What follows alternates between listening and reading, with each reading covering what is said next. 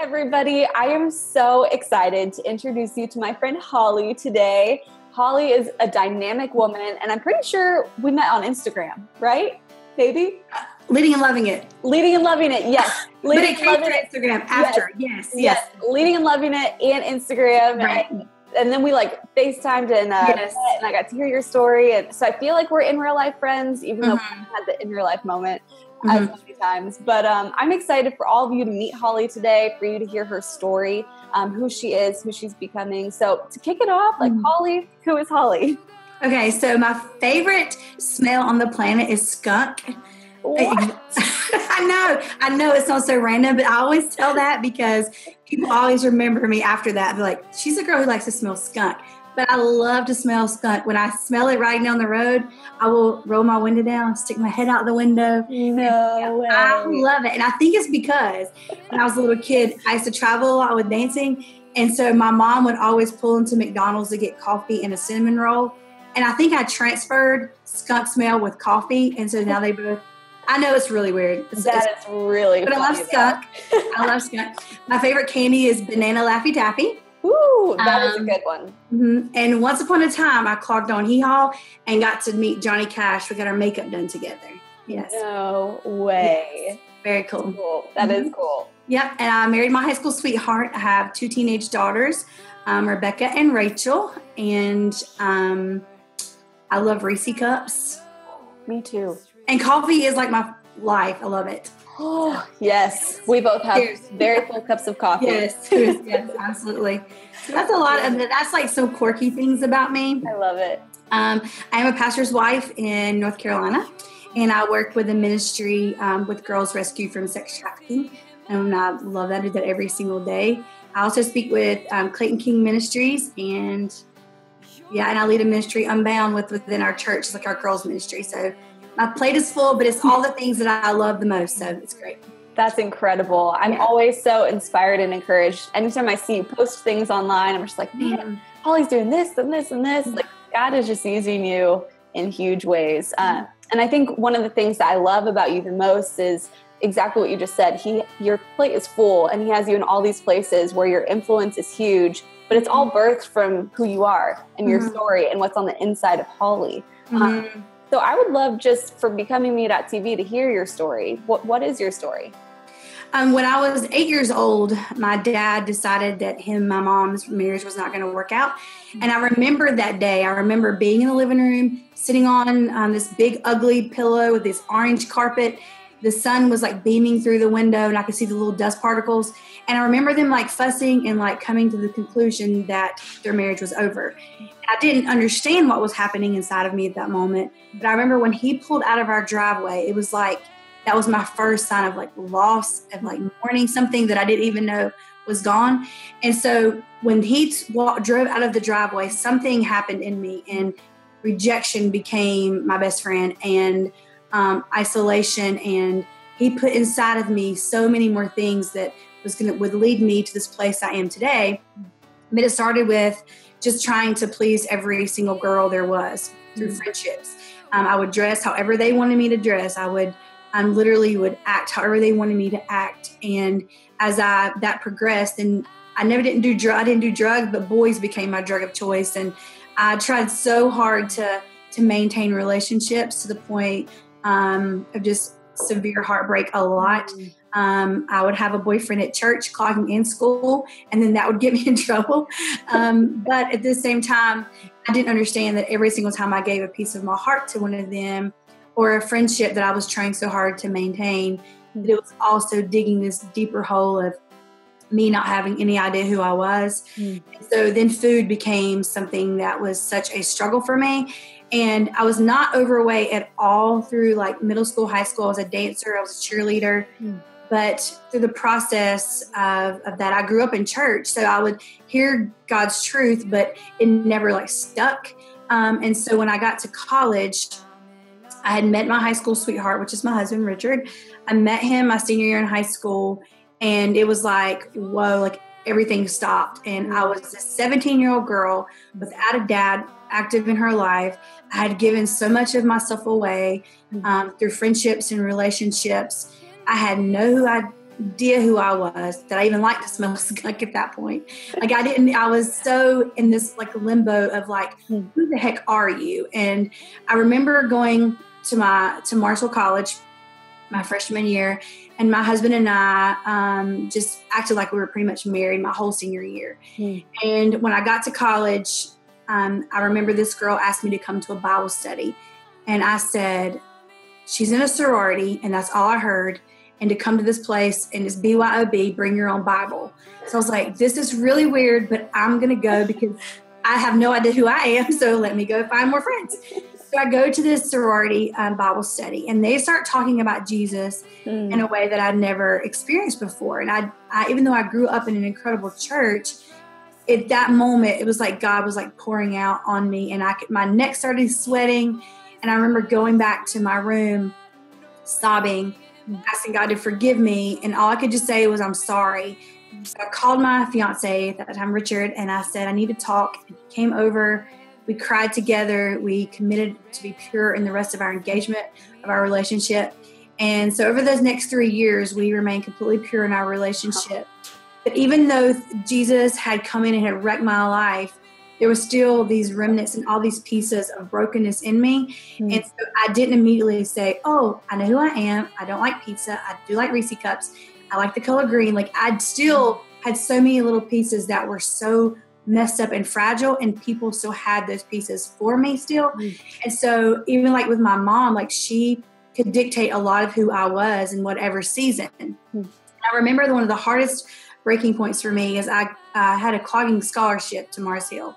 And i remember it was the summer before my junior year and i had was just done. It was a lot of different like groups of like partying and i could not handle it anymore. And so I decided to forego my scholarship to quit the clogging team so I could for myself to walk with the Lord.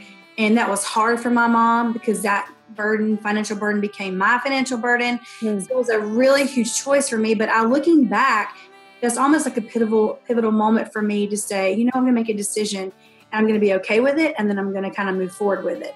And even even now thinking about that, tracing it back to that one decision of, you know, not having friendships lost from that clogging team. We were like a family mm-hmm. to walking away from um, my, my, mom's approval. You know, that was a big deal for me. It was a really huge deal. And even though she began to support that decision and she saw that I was just trying to love Jesus the best I could in that season, um, you know, that really came, you know, full circle. There was still that lingering thing with my dad who traced everything that I had ever done. I feel like for so long I blamed it on him um, my sins of you know constant you know disobedience i blamed it back and traced it back to what he had put on me as an eight year old girl. And so i remember it was the summer um, before my um, senior year my husband and i decided we could not wait to kiss anymore. So we decided we were going to go get married a year early. So we moved our marriage up and i had to have the decision of do i let my dad walk me down the aisle or my mm. stepdad who'd been there for me since the ninth grade Mm. And um, even though I didn't like him for most of those years, something had shifted and we became really close. And so for my wedding day, I walked down the aisle by myself because I couldn't make a decision. Wow. And looking back to those tapes now, like I, I said tapes, VHS, that tells you how old I am. I mean, like this, this little CDs, you know? Yeah. Um, but um, looking back now, that would I feel like that would probably break my heart to watch that again, and because hmm. I didn't I didn't want to tell my dad no, but I didn't want to tell my stepdad no. So the loneliness of having to walk down the aisle that I had said I was going to be pure for my husband was heart wrenching for me, and I was only 20 years old. I was you know right before my senior year in high school college, and so then I get married to my man who's fine. And then I, six months after we get married, I have a plan that I'm going to go to seminary to become a Christian counselor. But the Lord says, no, you're pregnant. And so I'm like, are you kidding me? I haven't even graduated college yet. My mom's gonna ground me. Like, um, even I was married, I had all these like crazy thoughts of approval, which went back to like, what do they even think? Are they going to try to like add it up and see if I got pregnant before? You know, all these crazy thoughts of trying to please other people. And so when um, I was a week from graduating college, I was seven months pregnant, and my dad called me. and he was going to come up to spend the weekend for college to for graduation. And we talked in the phone on the phone till one in the morning. I told him that I loved him, that I had forgiven him. Um, just incredible evening of just like having just a, a closure for me. Yeah. Literally all the things I feel like the Lord was bringing that moment for me. And the next day, he was killed at work, and yes, he was killed, and it crushed me. And but I remember walking into the hospital, and he was sitting um, on this like gurney, and I don't know why they left I don't know why that my family thought it would be a good idea for me to see him that way, but they did. I think they thought they would give me closure. And so that image, Emily, mm. has burned in my mind for about, he's been dead for almost 19 years, for almost 19 years. Wow. Okay. So about two or three months ago, when my husband and I decided we were going to really get this thing started with our remodeling our home. Mm-hmm. We have an elderly uncle living with us. And so I was outside and I was looking um, through some old albums and different things. Mm. I picked up this one album, and when I picked it up and turned the pages, there was a picture of my dad from when he was really young. Wow. And it was like God said to me so clearly, I make all things new. so for 19 years, I had this horrific image of my dad, mm. dead dad with this like his looked horrible on this gurney. Mm. Now God, now what's so crazy is I can't even go back to that image in my head. Even wow. trying to talk to you, me trying to go back to walk through those doors of the hospital, it's gone. Wow. And, and so I literally, this lifetime, I'm 41 years old, has been this season after season of trying to become whoever whoever anybody else wanted me to be. And the last three to five years has been this journey of like, you know what? I don't like pizza unless it's smell of mushroom. Or you know what? I'm gonna be who I am mm-hmm. regardless. I'm overweight but I just say I'm thick and this whatever, I don't care. And it doesn't stop me from trying to like to be healthy. I'm not saying that at all, but like mm-hmm. I'm okay with who I am for the first time in my life. And so I really believe that even when my dad left me when I was eight years old, God brought something back through my father as a picture of who he is in my life. That, that he makes all things new, that he doesn't see anything that I've ever done mm-hmm. or what and so it, it literally has changed my perspective on who I am and who I'm becoming. So that's incredible. Oh my goodness. I have like goosebumps just hearing Aww. that part of your story. That's huge. I love what you had said um, mm. about you are finally becoming who you are and being comfortable yes. with that. Um, mm. You know, we've kind of we've joked around and talked about we have coffee, which we mm. totally do. And if you were sitting across from another woman, you're having a cup of coffee, you're hanging out, um, and she's on her own becoming journey. What would you say to encourage her? There's a scripture in Psalm 46:10 and it says this to be still and know that I'm God. Mm. There's a version in the NASB version it says cease striving and know that I'm God. Mm. And I feel like there's so many teenage girls, college girls and women we are striving. We're striving and we're trying so hard to meet the deadlines.